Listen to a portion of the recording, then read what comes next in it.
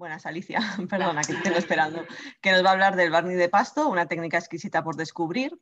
Eh, ella es licenciada en Bellas Artes con la especialidad en conservación y restauración de bienes culturales por la Universidad Politécnica de Valencia en 1994 y en 1997 finalizó los cursos de doctorado en la Universidad Pública de Navarra.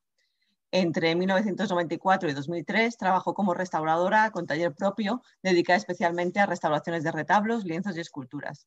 Desde 2003 desarrolla su labor profesional en el Servicio de Patrimonio Histórico como técnico superior restauradora y está al frente de la sección de riesgo de registro perdón, de bienes muebles y arqueología de Dirección General de Cultura Institución Príncipe Viana desde 2010. Ha participado en congresos y jornadas técnicas en España y Francia y ha impartido conferencias centradas en la conservación de los bienes culturales de Navarra.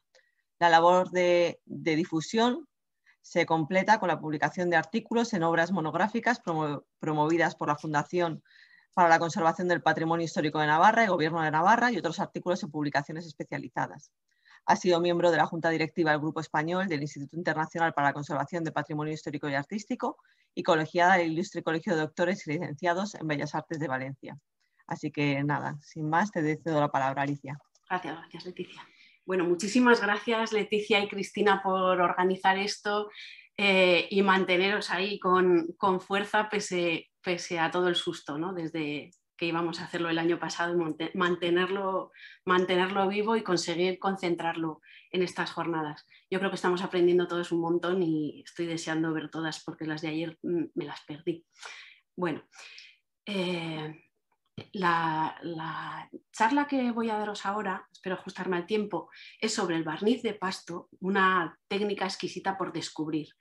Eh, yo eh, conocí esta, esta, técnica dentro del proyecto de lacas de importación que os acaba de comentar Berta y, bueno, fue un descubrimiento absoluto que a mí me tiene enamorada, por lo que tengo que dar gracias a Yayo y por haber descubierto que aquellas piezas que se consideraban en Navarra como maque, pues eh, laca mexicana en realidad pues, es barniz de pasto, que es una técnica maravillosa que para los que no la conozcáis, espero que terminéis enamorándoos de ella. Dentro de ese proyecto de, laca Nambam, que en realidad eran lacas de importación, aunque la mayor parte de ellas eran Nambam, se incluían estas, que en un primer momento estuvieron eh, prestadas en el Museo Nacional de Artes Decorativas, que ahí es donde conocí a Cristina y a Leticia, y, bueno, y en aquel catálogo aparecían como laca mexicana, pero había algo que no cuadraba. Eh, son arquetas de muy pequeño tamaño, de madera ensamblada, con policromía de barniz de pasto, eh, con herrajes y cantoneras de plata, que en Navarra declaramos bien de interés cultural a raíz de, todo este trabajo de investigación y de estudio que se hizo, porque bueno, pues pudimos ver eh, la importancia que tenían y lo importante que es protegerlas y considerarlas. Ahora, ahora vais a ver por qué. Me gustaría que os quedarais con esta referencia porque luego vamos a perder totalmente las referencias a tamaños. Me voy a centrar muchísimo en la imagen, pero quiero que penséis qué es esta punta de bolígrafo y a qué nivel de, vamos, de exquisitez se puede llegar en el trabajo con un material que vais a ver que es totalmente increíble. Los que no conozcáis la, la técnica, bueno, mm, vais a ver qué es esto. Bueno, quedaros con la punta del boli y el tamaño de los trazos que estamos viendo ahí. Y si os habréis fijado, eh, no está pintado. ¿Veis? No está pintado. Son tiritas, como tiritas de plastilina y láminas, láminas más o menos transparentes. Y acordaros, acordaros de esa referencia del bolígrafo para tener en la cabeza el tamaño. Como os comentaba, el primer contacto con estas piezas fue aquí, en esta exposición que se hizo de huellas de Japón en España, en el, Museo Nacional de Artes Decorativas. La pieza central la tuvimos que exponer después de un susto porque vino con vida interior. Esto es lo que pasa por, bueno, pues por, por tener patrimonio desconocido. Estas piezas estaban eh, clasificadas como MAQUE, no estaban protegidas ni tuteladas, no están declaradas bien de interés cultural, ni siquiera inventariado, y entonces pues los préstamos se hacían pues sin tener el control de la administración, que es eh, bueno, que yo creo que es importante. Eh, y bueno, pues fueron sin correo y llegaron como llegaron. Luego veremos los, los, detalles. Y aquí, pues para evitar problemas, se expuso con nuestra vitrina. y posteriormente, pues aquí ya sí se integraron en esta exposición como, como piezas de la calle importación, pero de barniz de pasto. Y explicamos pues, eh, todo lo que os voy a contar ahora sobre su, su forma de producción, sus patologías, tratamientos, etc. También eh, podéis, podéis, este catálogo que se editó está disponible online, entonces os lo podréis descargar completamente en PDF o en, la, bibliografía que hemos pasado está el acceso. ¿Realmente qué es el barniz de pasto? Bueno, pues mm, mm, barniz, disolución de una o más sustancias resinosas en un líquido que al aire se evoluciona. Bueno, pues no es un barniz. El barniz de pasto no es un barniz. Se denomina barniz desde hace mucho tiempo por esa calidad brillante que tienen las obras, porque eh, bueno, buscaban, buscaban imitar lo que venía de China pero, y de Japón, pero realmente no es un barniz. Tampoco es de pasto hecho con hierba, que es lo que podría parecer, ¿verdad? Así que además de inclasificable, pues parece también difícil de, de definir el barniz. Bueno, pasto se refiere a esta zona de Colombia, que es San Juan de Pasto, donde parece que se inició en, en periodo precolonial, en, los incas ya trabajaban con esta resina, se han encontrado en yacimientos eh, cuentas de collar en ajuares y narigueras hechas con barniz de pasto coloreado.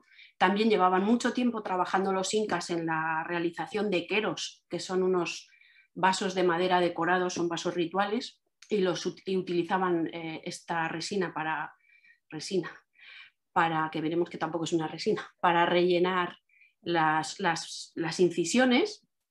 Y bueno, y, y la denominación más conocida y más extendida ahora, que es pues, barniz de pasto, pues podemos verla aquí recogida en esta, en esta lámina de acuarela de 1853 de barnizadores de pasto, como podéis ver ahí abajo, donde se ve perfectamente cómo funcionaba un taller que además, pues bueno, supongo que, venderían también, ¿no? Tienen ahí sus objetos para, para la venta. Vamos a ver ahí los elementos, muy bien reflejados, los elementos que se realizaban con esta técnica y cómo era su comercialización.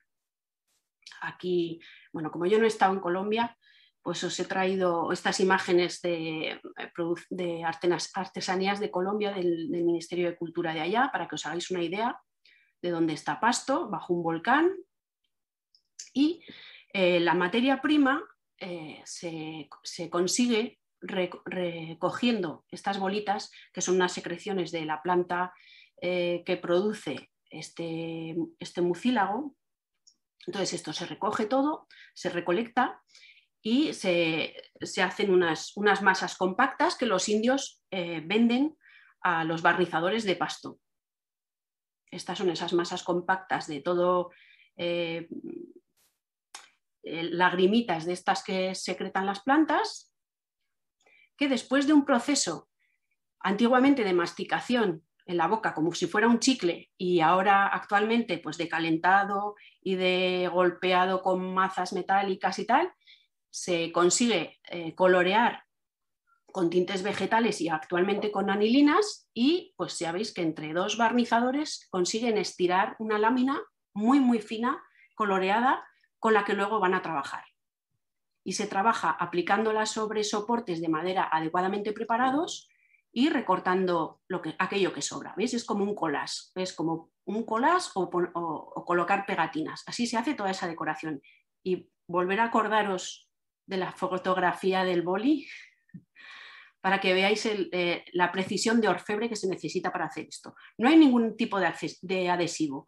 El adhesivo es la propia, eh, la propia resina, el propio mucílago del, de pasto.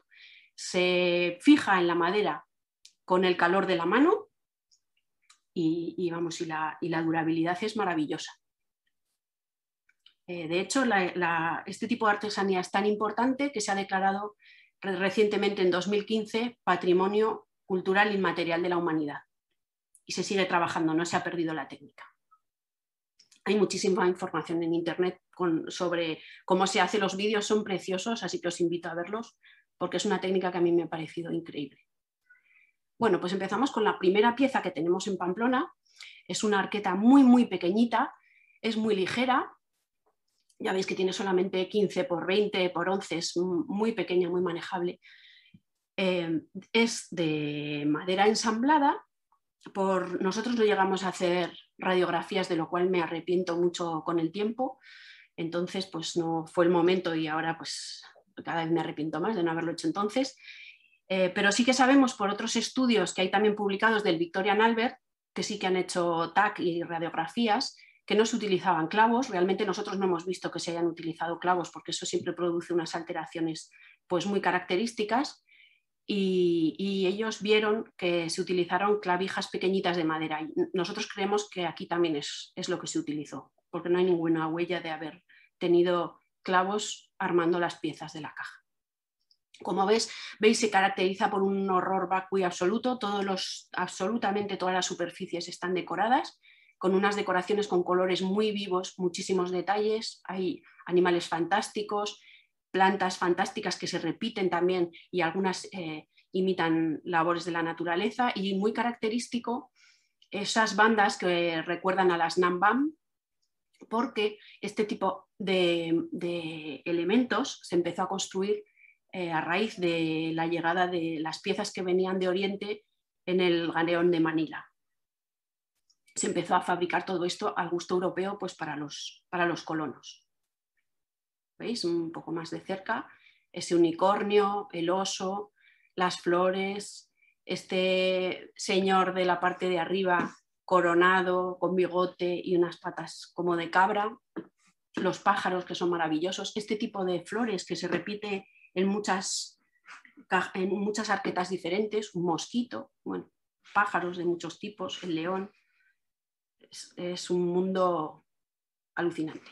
Y los herrajes, en este caso de plata, y aquí hay un detalle interesante que lo vemos aquí y lo veremos también más adelante, que me parece muy significativo, porque yo creo que había era un taller que hacía, no sé si ya las piezas de madera, pero sí que hacía la decoración de, de pasto pero luego otra mano posterior, otros, ellos, yo creo que ellos no ponían los, herrajes, porque aquí mm, dejaron la reserva en el centro, pero luego al llevar boca llave, la lengüeta tenía que ir lateada, ladeada y el que puso los herrajes eh, no mantuvo esto. Entonces yo creo que no hacían el, todo el trabajo, no lo hacía el, el mismo taller. Aquí los veis por detrás, aquí se han ajustado un poco más a la reserva que tenían para, para la colocación de los herrajes. Bueno, este eh, pertenece a la época del, a la fase del barniz de pasto brillante que se caracteriza porque utiliza eh, pan de plata, sabemos que es de plata, eh, para estas decoraciones. Todas las, de, las del borde que veis, que imita los sabores de sipo de las, de las cajas Nambam, y para las, las partes que se ven, pues mm, que parecen oro, ¿no? pero ya veréis luego que, realmente oro no es. No es lo que hemos encontrado aquí. Aquí tenéis los laterales, son muy típicos también estos claveles y este tipo de flores que parecen como los cogollos del, lúpulo. Yo no sé, no sé a qué plantas se refieren exactamente, pero aparecen en muchísimas, en muchísimas arquetas. Los pajaritos que me parecen maravillosos estas más en detalle. Eh, ahora voy a empezar a poneros unas imágenes en macro. En los estudios utilizamos macro, utilizamos eh, videomicroscopio para documentar todo esto y nos permitió pues, ver detalles de la, de la técnica y alteraciones muy, muy, muy interesantes. Entonces, bueno, aquí tenéis los pájaros, se ven unas pequeñas lagunas, aunque tengo que decir que es una técnica muy noble y si os fijáis no hay craquelados, está muy, muy estable, se, acopla muy bien la lámina al soporte de madera y no hay albolsados, no hay levantamientos, eh, excepto los que se han producido por, por golpes, que vamos a ver más adelante. Y aquí también empezamos a ver huellas de herramienta. Las herramientas de corte, ¿veis? Este corte de aquí, cómo han ido recortando con la cuchilla para acoplar las piezas. Aquí también, aquí, eh, fijaros en el león porque luego lo veremos más de cerca cómo todos estos efectos de rayado realmente son eh, hilos muy, muy finos de la propia resina que van aplicando en la superficie. No, es, un, no es, un, esgrafiado, ¿eh? son, son líneas superpuestas, muy, muy finas. Igual que el perfilado del ciervo en negro, que es un hilo finísimo. Esta es un poco mayor y aquí volvéis a ver estos cortes. Estos detalles que también imitan un poco la labor de kirigane que se, se ve en las lacas eh, japonesas. Bueno, aquí ahora vamos a empezar, esta es la arqueta de Leire, pero para que veáis, aunque ya he puesto una imagen antes, Berta, del dinolite, en los estudios que se hicieron con videomicroscopio. Este, por ejemplo, a 20 aumentos es el, león y ahora vamos a ver un detalle de esta garra. Y recordad un poco el tema que el de la punta del boli. Para que os imaginéis en qué condiciones, con qué cuchilla y qué tamaño de piezas van adhiriendo para componer la pieza. ¿no? Y aquí se ve muy bien que lo que utilizan en el siglo XVII no es eh, metal en polvo, que es lo que utilizan ahora los barrizadores de pasto, sino que son láminas de metal, ¿veis? Por debajo, es plata y consiguen que parezca eh, oro tiñendo el, el, barniz de pasto con un tinte que se llama azafrán de tierra, es un tipo de raíz. ¿Veis un poco aquí donde se ha perdido la lámina la lámina de resina, se queda la plata a la vista, más detalles de cómo se ha ido construyendo. Aquí un trabajo en espiral y nuevamente los cortes, los cortes de la herramienta. Es, una técnica muy característica que una vez que la has visto, esto ya se ve que no, es, no ha sido realizado con un pincel, es lo primero que llama la atención. Vamos, eh, juegan mucho con el uso de la resina transparente el juego de la plata detrás y, otras, y en otras ocasiones con la resina opaca, como a la izquierda, con, utilizando tierras.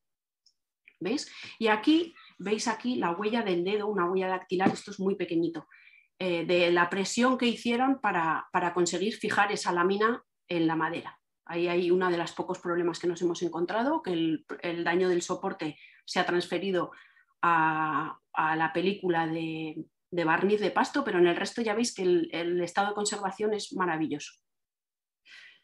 Bueno, y como el urusi es tóxico y esto no es tóxico, debe ser, bueno, pues aquí nos encontramos eh, daños por xilófagos, teníamos un ataque de lictus que luego lo veremos mejor, y aquí este, este tipo de daños de soporte que abren, pero no llegan a levantar eh, el barniz agujeritos de xilófagos que no llegan a aparecer hacia arriba. Y aquí por el interior de la caja, esta fue la de la sorpresa de la Catedral de Pamplona, que fue sin correo y entonces al abrir la caja apareció así. En fin, y había tenido un ataque de hongos y de líquidos. Entonces esto ya se pudo corregir. Otra cosa que me interesa aquí mucho que veáis es cómo, eh, imaginaos que tenéis una arqueta de madera y tenéis que forrarla con papel film, por ejemplo, ¿no? del de la cocina, y cómo se superpone uno a otro. Pues esto es, esto es lo que estamos viendo aquí que luego lo veremos también muy bien en, esta otra. Esta es la arqueta de, Mendigorría, es otra de las arquetas que tenemos allá. Eh, es un poquito más grande y pertenece a una familia que esto no está publicado, pero yo creo que en algún momento habría que pensar sobre esto. Es una familia de arquetas que presentan todas, yo creo que es el mismo problema de, fabricación.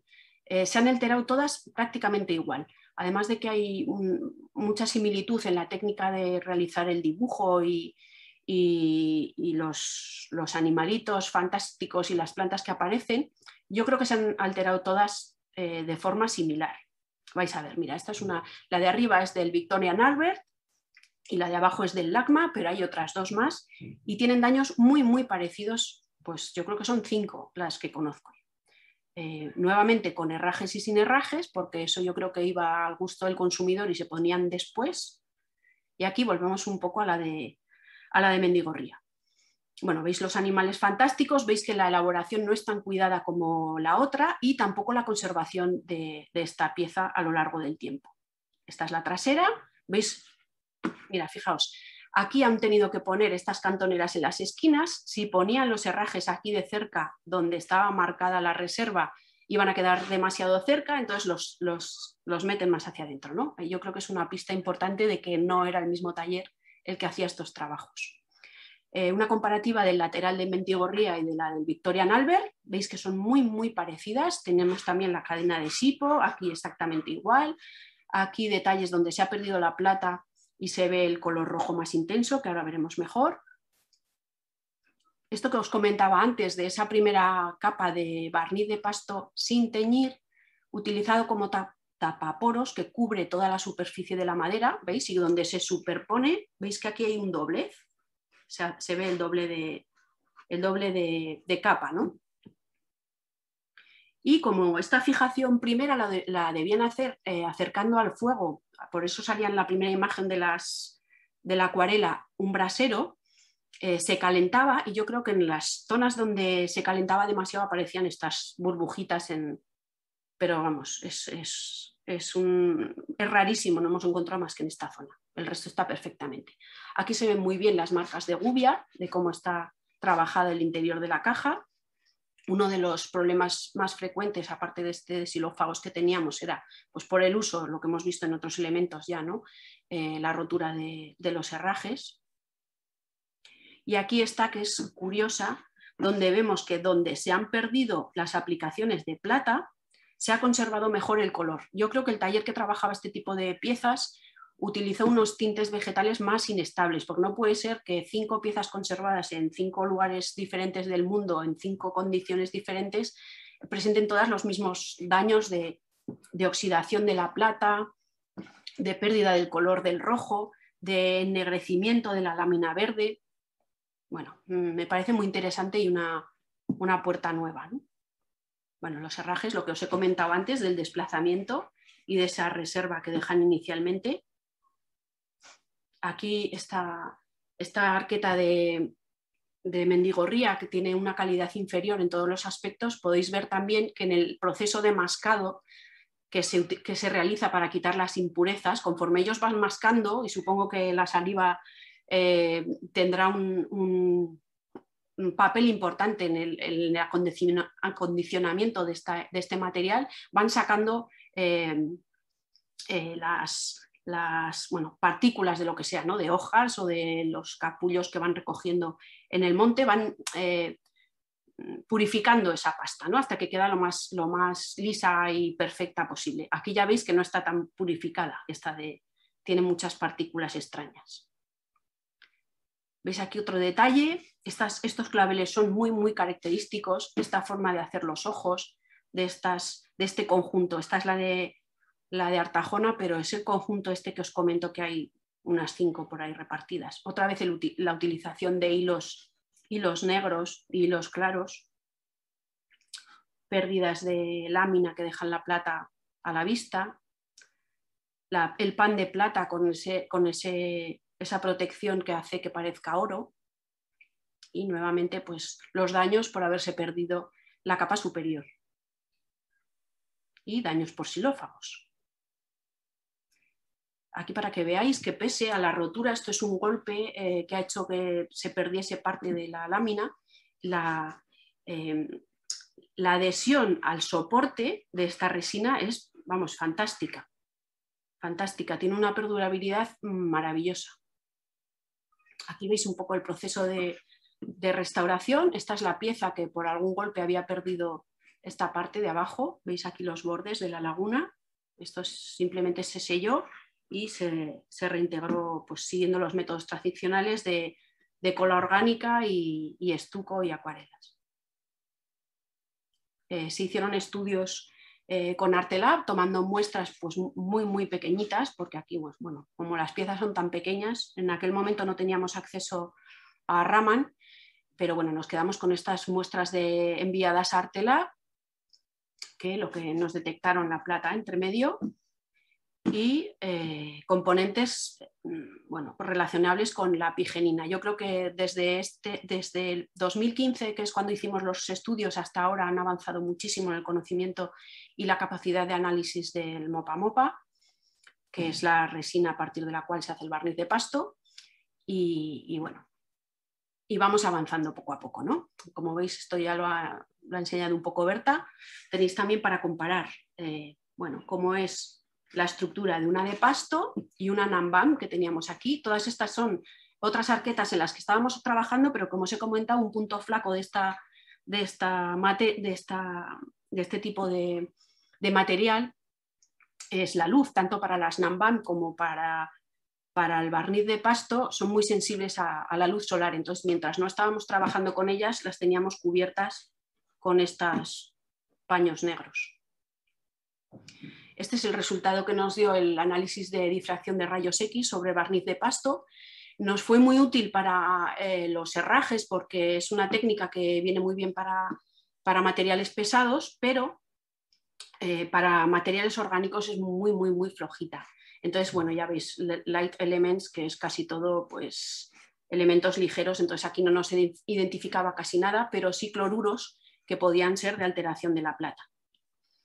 Eh, resumiendo los tratamientos que aplicamos a, las arquetas y que son eh, bueno, comunes con el resto que podéis ver publicado de los estudios del Victorian Albert y algún otro que hay por ahí también publicado, eh, hicimos una limpieza superficial muy suave en seco, el tratamiento de, xilófagos en aquella, en aquella que, se, que se detectaron xilófagos, la consolidación de la madera, que fue muy ligerita con paraloid, fijación de la policromía, en algún borde muy, muy pequeño que sí que estaba levantado a la raíz de ese golpe, limpieza química superficial solamente con agua templada y fue, vamos, el barniz de pasto se utilizaba en vajilla de uso habitual eh, prehispánica porque es eh, mm, impermeable, entonces, bueno, funcionaba muy bien el agua y no, no utilizamos nada más. Y reintegración y protección de lagunas, como ya os he comentado, con métodos tradicionales. La conservación preventiva de estas piezas es súper importante, el control de la iluminación, que no tiene que, superar los 150 luxes, almacenamiento preferiblemente sin ninguna fuente de luz. Es importante también el control de la humedad relativa, que tiene que ir entre un 30 y un 50%. Para la plata es mejor ir por menos de 30, pero eh, entonces afectaría a la estabilidad de, de, la materia pictórica. ¿no? El control de la temperatura también es muy importante, no bajar nunca de los 18 grados porque ahí está el punto de vitrificación de, la resina y podríamos tener problemas de levantamientos y de pérdida de, elasticidad.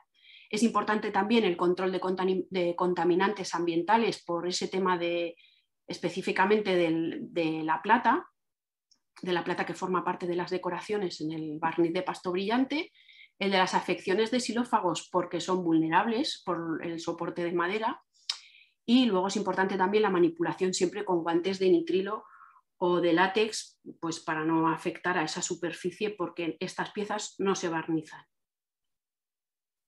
Todavía nos queda mucho por aprender. Eh, es muy, muy importante seguir en, la realización de, de, análisis de todas estas piezas sin estudiarlas muy bien, porque yo creo que podemos llevarnos más de una sorpresa. Estas dos estaban catalogadas como maque, laca mexicana y luego realmente a la hora de estudiarlas, pues yo creo que irán apareciendo más, más piezas de este tipo.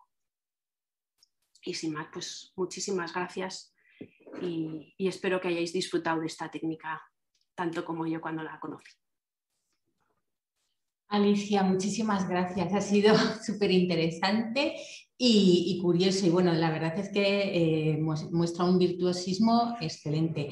Eh, yo creo que esto también eh, da, muestras de lo difícil que es abarcar el mundo de las artes decorativas en cuanto a su conservación, porque a la variedad de tipos y materiales que, hemos ido comentando a lo largo de todo el seminario, hay que unir también la variedad geográfica. Hemos, hemos visto muchas, muchas piezas de origen oriental y ahora vemos también piezas de origen colonial que bueno, pues abren, abren el abanico de, problemáticas y casuísticas.